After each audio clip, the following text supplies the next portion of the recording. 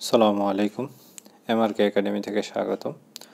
আমাদের আজকের লেকচারটা হচ্ছে জেনারেল ম্যাথের চ্যাপ্টার টেনের লেকচার সিক্স তো দেখো, এখানে একটা অঙ্ক দেওয়া আছে। আমি এটা একটা সৃজনশীল প্রশ্ন। আমি এটা এখন সমাধান করে দেখাবো।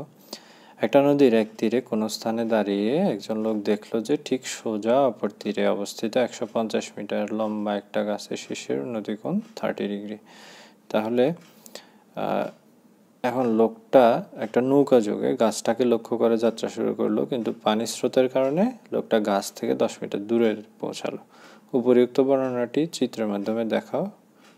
তাহলে প্রথম প্রশ্নটা হচ্ছে, উপরিউক্ত বর্ণনাটা চিত্রের মাধ্যমে দেখাইতে হবে।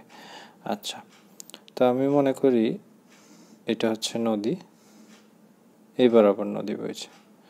তো একটা লোক এই সোজাসুজি যাত্রা করবে, নদীর তীরে এই স্থানে দাঁড়িয়ে দেখল যে ঠিক সোজাসুজি অপর তীরে একশো পঞ্চাশ মিটার লম্বা।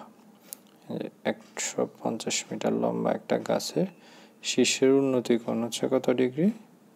Thirty degree. তাহলে এই কোণটা হচ্ছে কত ডিগ্রি? Thirty degree.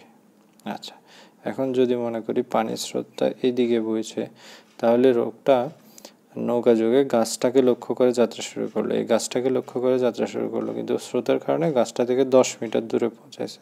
ধরে নেই সে এখানে পৌঁছাইছে।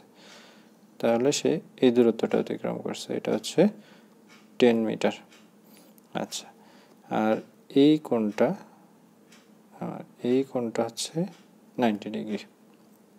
আচ্ছা কিন্তু পানির স্রোতের কারণে দশ মিটার দূরে পৌঁছালো প্রযুক্ত বর্ণনাটি চিত্রের মাধ্যমে দেখা তাহলে এটাই হচ্ছে আমার চিত্র। এখানে এ বি সি বিসি হচ্ছে একশো পঞ্চাশ মিটার লম্বা একটা গাছ। কোন এ হচ্ছে থার্টি ডিগ্রি আচ্ছা এ বি হচ্ছে নদীর বিস্তার।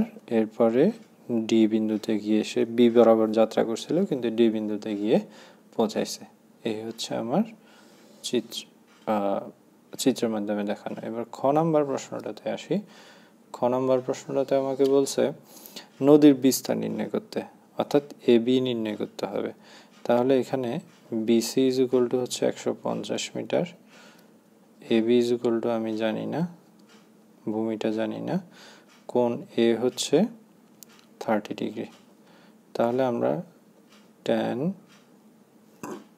থার্টি ডিগ্রি সমান লিখতে পারব কত? BC divided by A B tan thirty ডিগ্রির মান হচ্ছে ওয়ান বাই রুট থ্রি আর বিসি হচ্ছে একশো পঞ্চাশ ডিভাইডেড বাই এ বিটা আমার জানা লাগবে। সুতরাং A B is equal to হচ্ছে একশো পঞ্চাশ রুট থ্রি সমান হচ্ছে।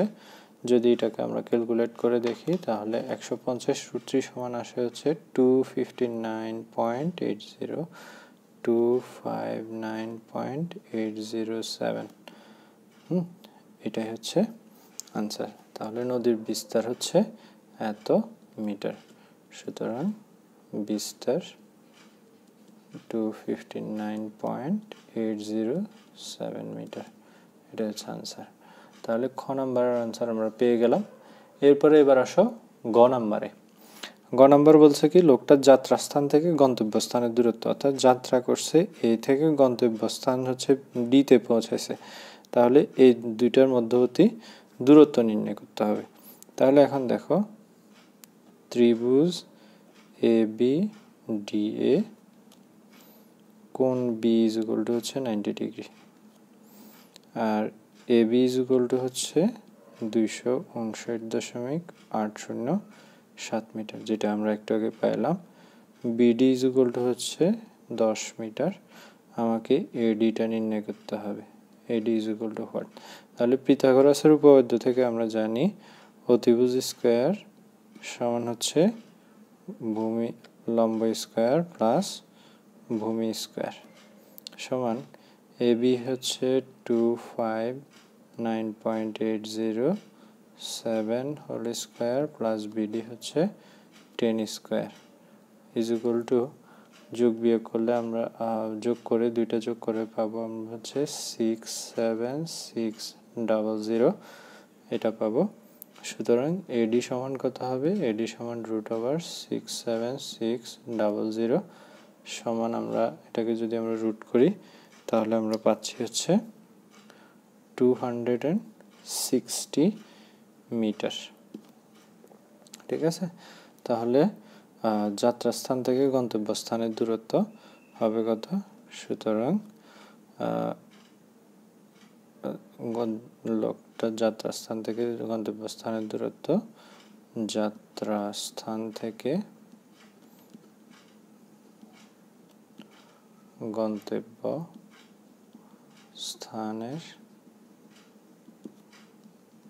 দূরত্ব টু মিটার এটাই হচ্ছে আমার আনসার তো আশা করি তোমরা বুঝতে পারছ, খুব সহজ একটা অঙ্ক। জাস্ট মেইন জিনিসটা হচ্ছে চিত্রটা ঠিকমতো প্রশ্নটা বুঝতে হবে এবং সেই অনুসারে চিত্রটা আঁকতে পারতে হবে। তাহলে এই অঙ্কটা একদমই সহজ। তো আশা করি বুঝতে পারছ। আর এই হোম কোয়ারেন্টাইনের দিনগুলোতে যদি এরকম ম্যাথ বাসায় বসে বসে শেখার জন্য ম্যাথের ভিডিও চাও তাহলে অবশ্যই আমার চ্যানেলটা সাবস্ক্রাইব করবে। আর সবাই ভালো থাকবে, সুস্থ থাকবে, বাসায় থাকবে। আল্লাহ হাফেজ। সালামু আলাইকুম।